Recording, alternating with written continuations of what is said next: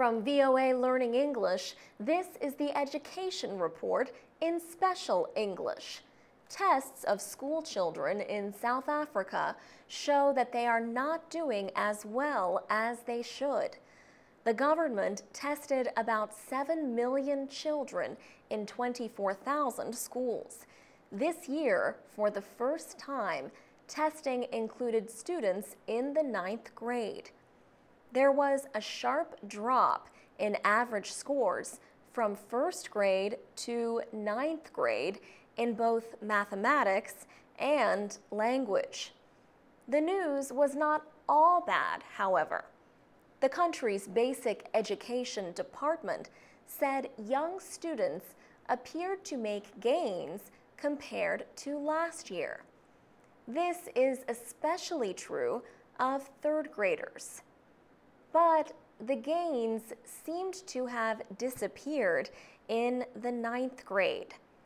At that level, only about 2% scored more than 50% in math. A spokesman for the Basic Education Department says although the results have been criticized, they show hopeful developments. Students from poor families scored well compared to wealthier students. And he said the study confirms that school attendance is high. Thabo Kupa serves on the executive committee of the Youth League of the ruling African National Congress. He said the results for the ninth grade are disappointing. He added that the test results call for officials to act.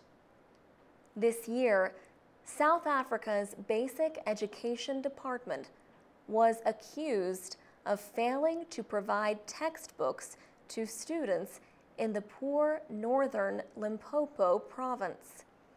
An employee was accused of dropping about 700 of the badly needed books into a river in Limpopo.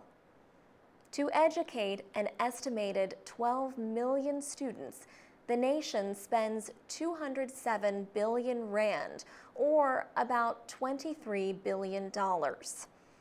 Education is South Africa's biggest budget item, and education spending is set to increase. For VOA Learning English, I'm Alex Villarreal.